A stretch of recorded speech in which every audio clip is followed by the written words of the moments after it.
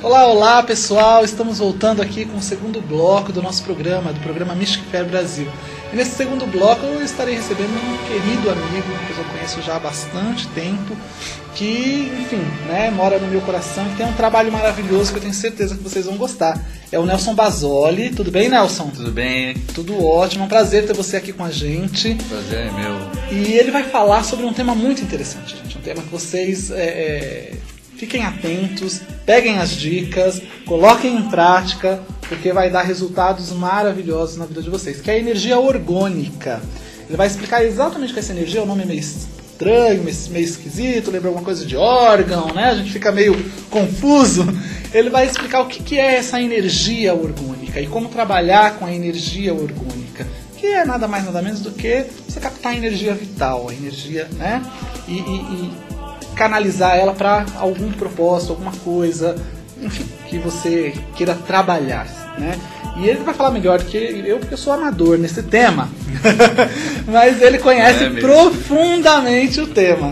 E se você quiser fazer a sua pergunta, aí do ladinho da, da telinha tem o chat onde você vai colocar o seu nome, você vai colocar o seu e-mail e mandar a sua pergunta para o Nelson, que ele vai ter o maior prazer de, de responder. Então, no decorrer da entrevista, eu tenho certeza que surgirão dúvidas. Você pode mandar suas perguntas para o Nelson é, é, é, tirá-las é, para a gente entender melhor o que, que é energia orgânica, que é exatamente a pergunta que a gente vai começar, Nelson. O que, que é energia orgânica? Tá, ok. Antes de mais nada, obrigado Imagina, pelo convite. agradeço. É, a energia orgânica, a gente não pode falar de energia orgânica sem falar em Reich. Né? Uhum. William Reich foi um estudioso extremamente eclético, uhum. que nasceu em 1897, morreu em, em 1957 sobre algumas condições muito desfavoráveis para uhum. um cientista, né? Uhum. Que morreu preso e, e nos Estados Unidos por pesquisas. Mas isso é uma outra história. E ele desenvolveu é, vários tipos de equipamentos e várias técnicas, inclusive psicoterapêuticas, que já não é de minha competência entrar. Mas a parte de, de equipamentos orgânicos é uma coisa que eu gosto. Não sou é, um expert absoluto, mas gosto de pesquisar e gosto da criação desses equipamentos. Uhum. É, a, a, energia orgânica é uma energia que, ele, que já existe né, no mundo todo e na, na Índia se fala o nome de prana, na China usa o, o, o Qi, que é utilizado também eu como acupunturista utilizo na, através dos meridianos que fazem os tratamentos, é, é a energia que os havaianos usam de mana, né, na, na no, no Japão é o Ki, né? que a gente conhece como energia vital. Exato. Também. Então, a nomenclatura é, pouco interessa, mas a, a, relação que ele fez de onde nasce essa energia que é o mais interessante. Uhum. A energia orgânica vem da palavra orgástica, né? Uhum. Que vem de orgasmo, de fato. Né? Então, por quê? Porque é a energia que o ser humano é a energia mais poderosa que o ser humano consegue produzir por si só. Uhum. Ou seja, é, não é a bomba atômica que ele tem que fazer combinações de elementos, ele gera essa energia. E através da geração dessa energia, ele consegue canalizar né, essa energia para alguns propósitos. Certo. Né? E, então, a gente vai ver aqui alguns equipamentos que podem ser criados uhum. para geração ou captação dessa energia direcionamento dela. E também o, é, é, como que o ser humano pode é, é utilizar-se dessa energia para é, é, no dia a dia. Entendi. Né? Então a gente vai, como você gostaria de, de conduzir aqui a entrevista, porque eu falo é, pouco. Sim, também. Né? Eu também falo muito, então é uma beleza. Então, para que a gente possa é, é, estabelecer uma sequência aqui de, então essa, de comunicação. Essa, essa energia vital é possível eu captá-la, armazená-la e direcioná-la certo? Sim. Então existem alguns equipamentos e algumas maneiras de nós fazermos isso. Exatamente. Tá. É, é, em realidade, essa energia é, existe em nós, uhum. em, através, né, em todo o espaço, passa por nós e nós conseguimos, conseguimos através até de treinamento, é, é, fazer a captação, a, a, ampliação dela dentro do nosso organismo mesmo e o direcionamento. Uhum. Muita, muitas vezes em algumas práticas, muitas delas relacionadas a religiões muitas delas relacionadas a um, a um aspecto místico. Uhum. Né? Por exemplo, a gente tem é, o reiki, que utiliza dessa energia. A gente tem a energia que atravessa nossos é, centros bioenergéticos, uhum. né, que é os chakras, né, que também é essa mesma energia.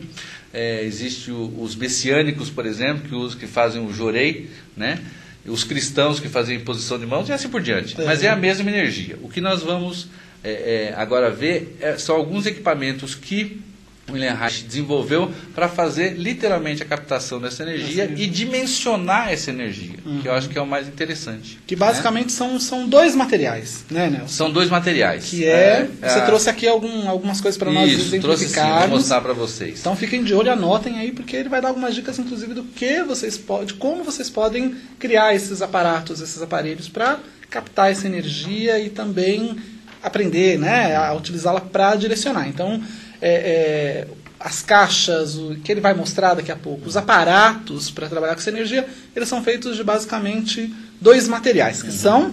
Então, é, os materiais que são utilizados para fazer a captação, é o mais importante, a gente vai dividir em dois segmentos. Como se faz a captação da energia orgânica, que ela está em todos os lugares, todos os ambientes. Uhum. A captação é feita única e exclusivamente através de material orgânico. O que é material orgânico? Nós somos material orgânico. É, a madeira é um material orgânico. Então, é, é, o algodão é um material orgânico. Uhum. Então, esses materiais têm a, propriedade de armazenar essa energia que passa, essa energia vital, orgânica ou o nome que vocês queiram dar. Mas basicamente, como a gente está falando de energia orgânica, vamos colocar o nome dela. Essa energia orgânica que nos circunda é captada por esses materiais. Então uhum. você pode utilizar, por exemplo, um pano de algodão, né? esse pano de algodão mais industrializado também, só que ele não pode sofrer esse daqui é um, eu trouxe que é uma coisa bem simples e barata. Esse aqui é o pano que a gente usa como pano de chão. Pano de cozinha, pano né? de cozinha, né? Aquele pano de chão que é o saco de farinha Isso. que eles fazem o alvejamento. Ele tem uma trama e deixa mais... e tem uma traminha um pouco mais, mais aberta, mais aberta, uhum. mas ele é mais barato em contraposição ao, ao brim, outro. que também é de algodão, mas é um pouco mais caro, uhum. né? Tá. Então Vamos falar de uma, de um, vamos falar do primeiro equipamento? Podemos vamos, falar do primeiro vamos, equipamento? Vamos. Primeiro equipamento que eu vou mostrar para vocês, que é uma coisa bem interessante, é uma caixa orgânica. Então, se a gente fala que quem capta é, é a energia orgânica é a madeira, logicamente essa caixa tem que ser feita de madeira. Nossa. Então aqui nós temos uma caixinha, uma caixa que é uma caixa super simples, tá vendo? Nós temos aqui essa caixa tem 30 por 40 e de, de, de largura, 40 de altura e 50 centímetros de profundidade. Ela tem que ter uma medida específica ou não? Não, é que a, a, a é porque fica mais fácil para você acondicionar algumas coisas aqui dentro. Entendi. Né? No caso dessa daqui, ela é feita para um propósito de demonstração. Né? Então, dentro dela vai ser colocado, por exemplo, um, frutas e tudo mais que a gente quer Vegetal, manter, maçã. uma maçã, por exemplo, que você quer manter por muito tempo. Então você pode até fazer uma caixa e fazer o teste. Coloca uma maçã aqui dentro e deixa uma fora durante, sei lá, uma 30, semana, 40 30 dias, dias, por exemplo. Você vai ver que a que estiver aqui dentro, assimilando a, a energia orgânica, vai se manter como nova. Porque a energia orgânica ela tem essa capacidade de preservação. Preservação. E tem uma outra é, é, característica também que é curativa. Entendi. Né? Porque ela vai restabelecer um equilíbrio da nossa energia. Uhum. Então ela tem uma capacidade curativa, tanto é que o, o William Reich ele desenvolveu caixas orgânicas grandes para tratamento de câncer. Legal. Onde a pessoa ficava lá durante meia hora, 40 minutos, e a partir daí sim ele recebia os benefícios dessa energia. Então a pessoa precisa então, de uma caixinha assim. Uma caixa de madeira, né? Madeira. E essa caixa de madeira então vai fazer a captação da energia. Certo. Na parte interna dessa caixa, a gente coloca o material, o material também de captação, orgânico. no caso, material orgânico aqui no caso é ah, o saco de algodão. De algodão. Tá Poderia certo? ser um algodão mesmo, de verdade. Poderia ser algodão in natura, inclusive. Tá. Né? Daí não, saco, não de estopa. saco de estopa. Sem problema. O problema do saco de estopa, como eu já havia falado, que a trama a dele trama é um pouquinho é mais, mais então ele, ele, absorve e retém menos Isso. energia. Né? E finalizando a parte interna, a gente vai utilizar o que eu vou Uma falar agora para vocês, que no vídeo parece espelho, mas não é. É uma placa de metal. Esse metal, Metal é, no caso o pessoal usa para fazer calhas, né? Chapa, né? É uma Chapa chapa, de metal. de metal. Uhum. A gente coloca ela, que ela já vem tratada, justamente para não enferrujar, Uhum. né? E é colocado Coloca dessa forma. Isso é feito em todas as superfícies Ela é da toda caixa. revestida. Toda revestida, ou seja, ela vai começar com madeira, vai ter é, o elemento é, de algodão aqui dentro e terminar sempre em metal. Certo. Começa em madeira, sempre e termina em metal. O interessante é que você pode potencializar ou amplificar essa energia colocando e intercalando outras camadas aqui dentro. Uhum, sempre na mesma né? sequência. Ou seja, madeira, algodão, metal, madeira, algodão, metal, metal. e madeira, algodão e terminando em metal. Quanto mais camadas tiver, mais está sendo potencializada a captação, captação e a e direcionamento dessa energia Tá. para o centro da Recepção, caixa. né? Para o centro da caixa. É, fazer uma caixa dessa é um pouco complicado, requer, né? É, é um Habilidade, alguns conhecimentos, né? E, de marcenaria. E, a- e achar um marceneiro bom, né? Que Você não precisa faça, fazer tudo, né? mas achar um marceneiro que seja bacana, que possa. Mas a pessoa poderia fazer, por exemplo, uma caixinha menor. né? Pode Uma sim, caixinha pode sim. com papelão, revestido de palha de aço. Exatamente. Né? Poderia ser Posso- algo menor. Pode. E também, além disso, eu sei que tem as, as mantas orgânicas. As mantas Exatamente. orgânicas elas têm um uso mais prático, né? Isso. É um- uma manta que você pode fazer para colocar de repente num- num lugar do seu corpo que está doendo, na sua cabeça. Tem mantas, tem travesseiros, tem almofadas, tem um monte de coisa orgânica. E que você pode utilizar para ser um auxiliar no seu processo né, de, de, de cura. Se você tem, sei lá, um tumor, um câncer em alguma parte do seu corpo, você pode colocar a manta orgânica naquela parte. Se você está com dor de cabeça, pode colocar a manta orgânica na sua cabeça e assim sucessivamente, não é? E Exatamente. como que a pessoa poderia fazer é, é, essa manta? Dá uma, dá uma dica pra gente, Pois é. Nelson. Tu- tudo que é relacionado à energia orgânica tem que ser uma coisa é, barata, de fácil é, é, a- acesso, né, Acesso, para todo isso. mundo. Então, como eu falei, utilizando-se do, do saco de farinha, Uhum. né, a gente pode utilizar ele, e como a parte de captação da energia. E utilizar a malha Palha de, de aço, é. palha de aço, aquela que é mais Aquela- fina, a gente não pode falar aqui do, do Pode, nome, é, né? é, Mas- famoso bombril, gente. Aquele que a gente Tem vários- tem areia vários- as panelas, né? Várias, o- vai ter outras marcas também, Também mas independe várias. da marca, independe da marca, o efeito importante é o é ser de aço. É, a malha de aço. E que ela é, é, não é tão dura, ela é mais flexível. Uhum. Se faz, intercala-se e cobre-se ela com um outro pano, Tecido tecido também de algodão de algodão. para justamente a gente não ter contato com o metal, porque pode provocar alguma Alergia, irritação na irritação. pele e tudo mais, né? E, e o ideal E- é que, for- que seja de outra cor para você saber qual é a Exatamente. parte do metal. Então, né? aí pode fazer assim, uma cor, né? Uma cor do lado que tem o metal, para a gente sempre colocar, e se faz do outro lado uma outra cor para saber que é o lado da captação energética. A parte do metal é aquela que fica Que fica mais corpo. colada ao corpo, Né? entendeu? Porque vai ver a captação pela Entra parte, pela parte orgânica, orgânica. e a parte metálica, a transmissão dessa energia. Na realidade, Tá se a gente pegar né, o nome é, energia orgânica e você pegar os dois materiais do qual é, é, nós fazemos os aparelhos, os aparatos para a energia, para a captação e, o- e a recepção, envio de- da, da energia orgânica, a gente poderia dizer que é um material que tem um polo masculino e outro feminino. Exatamente. Né? Não deixa de ser uma grande é, é, o grande rito, como a gente fala na Wicca, né? a união do masculino e do feminino, que né, provoca a energia, energia orgânica. orgásmica. Orgásmica. Então, mas eu, eu, eu creio ainda tem um, um lado que eu acho que essa energia orgânica é uma energia feminina. Uhum. né? Eu acredito que seja uma energia feminina porque é uma energia de geração. Uhum. Né? É uma energia que cria e promove o equilíbrio orgânico. Uhum. né?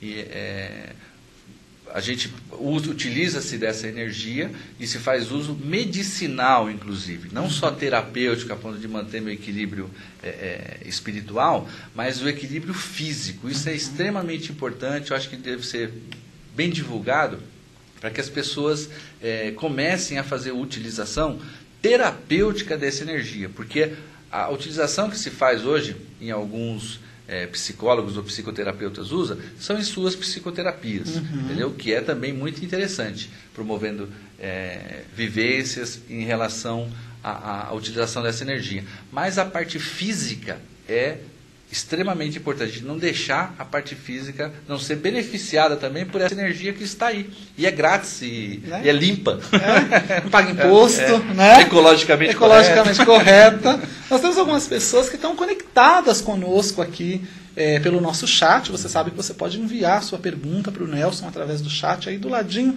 Só colocar o seu nome, seu e-mail e enviar sua pergunta. Você quer aprender, você quer entender melhor como trabalhar com a energia orgânica, como trabalhar com os materiais? É, manda sua pergunta que o Nelson vai ter maior, é, o maior prazer em responder. Nós temos algumas pessoas que estão conectadas conosco aqui. O Massude, a Eliana Cabedo, o Luiz Cabedo, a Marisa, a Haná, o Guilherme, que estava falando aqui da, da, da pauta né, da, do nosso bloco anterior, dizendo que é, o programa hoje está muito show, está tudo muito interessante, muito lindo, mandando beijos, beijos para você também, Guilherme. É, obrigado né, por estar aí conectado com a gente. E a Fernanda, a Laura, o Massude, que estou repetindo, Lucas, que ele mandou antes. E o, o, ele mandou uma, uma questão para você, né? Você quer saber Vamos ver. se uh, essa caixa ela pode ser feita de MDF. É, o MDF ele utiliza uma quantidade muito grande de aglomerante, ou seja, de cola. Uhum. E a cola ela vem de material é, derivado de petróleo, mas processado. O petróleo também de origem ele é orgânico, né? É, mas na teoria. Quando ele é processado, ele, ele entra na parte dos polímeros e começa a ser um isolante. Uhum. Então, assim como a borracha é um isolante elétrico, a energia orgânica ela tem características de transmissão de energia elétrica. Uhum. Então, se usar o MDF, o MDF vai, é, de alguma forma, limitar essa condução. Então não é interessante utilizar é, o MDF. Tá. É, o, o, ideal seria utilizar madeira in natura. Tá. É que a gente fez aqui, inclusive, essa com compensado para ficar mais fácil para as pessoas aqui que moram na, na, capital poder fazer. Ele poderia lixar o MDF, Podia, por exemplo? Não vai adiantar. Não vai, porque é misturado, é a, a composição. A composição do MDF que já é, Entendi. É, já é com cola. Tá. Então não tem como tirar. A, a Nitz Lemos, do Rio de Janeiro, ela está falando que está adorando o programa. Muito obrigada, ela está dizendo. E ela falou, agora a perguntinha básica. É. Para um tratamento da saúde, de saúde, quanto tempo ou dias a gente deve usar uma manta dessas? É, em realidade, até reestabelecer o equilíbrio que a pessoa tem. Só que o uso permanente não dá. Né?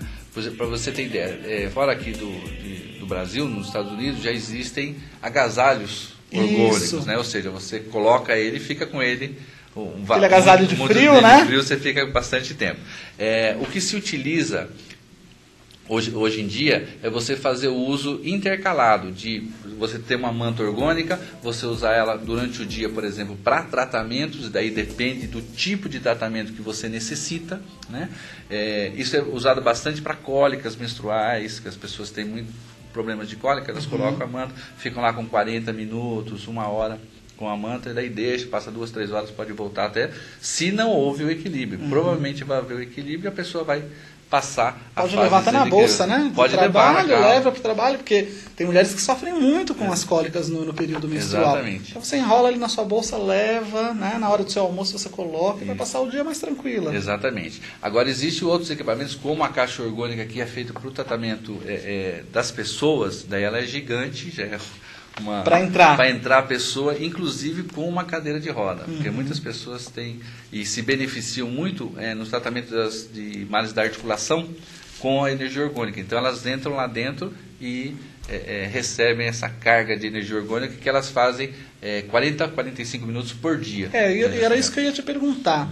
É, a energia orgânica ela trabalha melhor em quais tipos de problemas de saúde? Há, há uma estimativa? Há um... Então, ela trabalha bem em todo tipo de desequilíbrio. Uhum. Então, é, e eu, a minha especialidade é desequilíbrio físico, uhum. né? E lógico que tem os desequilíbrios mentais, que aí quem tem acesso mais eu indicaria os, os psicólogos, né? Mas é, na, na minha Rachianos parte... de preferência. É, rachianos de preferência, lógico. É, a, minha, a minha parte é justamente a parte física. Então, como eu trabalho com quiropraxia e tudo mais, os benefícios que a energia orgânica traz para é, quem tem dores é, é, de articulação, para quem tem dores lombares, para quem tem dores é, cervicais, né? para quem tem dores de cabeça crônica, que é aquela que vem todo mês ou nunca passa, ou no período é, é, menstrual, ou pré ou pós-menstrual. Então, tem pessoas, como eu também faço a parte de massagem crânio-sacral, muitas dessas pessoas que têm essas, essas enfermidades crônicas fazendo a utilização do, do, dos equipamentos orgânicos, elas restabelecem um equilíbrio melhor e deixam de ter essas dores. O Antônio Fernandes, ele também está com a gente aqui conectado. Muito obrigado, Antônio, pela sua participação. E ele está perguntando: eu tenho diabetes, qual seria a melhor maneira de utilizar a energia orgânica para tratá-la? A, a, energia orgânica, ela pode, no caso dele, seria mais interessante ter uma caixa, né? Uma caixa para ele é, é, entrar dentro dessa caixa e restabelecer de alguma forma a, a, a dinâmica dos órgãos internos deles que são responsáveis para o controle de açúcar no corpo. Entendeu? Então ele vai ter que receber uma carga grande dessa energia. Então eu aconselharia ter ele uma... ter uma caixa orgânica, fazer uma caixa. Se você acredito que tem aí Antes, os CGs aí o, o, meu, o, o endereço, eu, eu poderia passar para ele com as, as, as dimensões e as dicas para ele produzir uma. É, e também não sai tão caro. É, a Eliana Cabedo do, do Rio ela está perguntando, pergunta técnica. Hum. Considerando que o ideal é a madeira maciça e só se encontra tábua com largura de 30 centímetros, hum. pode-se unir várias tábuas para fazer a caixa e como seria essa união com placas de metal é, ou seria preferível unir com pinos de madeira? E se haverá venda de caixas orgânicas na Mystic Fair? não sei, a produção ainda não entrou né? nessa fase.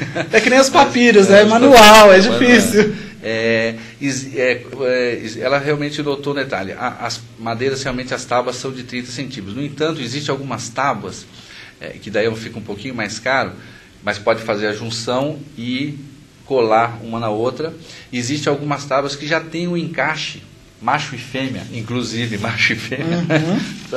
para fazer o encaixe. Geralmente eles utilizam para fazer pisos, uhum. né? E daí sim pode ser feito com elas. Né? É uma sugestão. Olha só, pessoal, é um tema maravilhoso. Tem pessoas fazendo perguntas, perguntas e mais perguntas. Mas o Nelson ele vai estar na Mystic Fair dando uma palestra sobre energia orgânica. A palestra dele se chama Energia Orgânica, sua captação, envio, equipamentos e aplicações terapêuticas. E a palestra acontecerá no sábado, no dia 9 do 10, às 13 horas. Então, se você quer conhecer um pouquinho mais sobre a energia orgânica, porque o programa é muito rapidinho, né?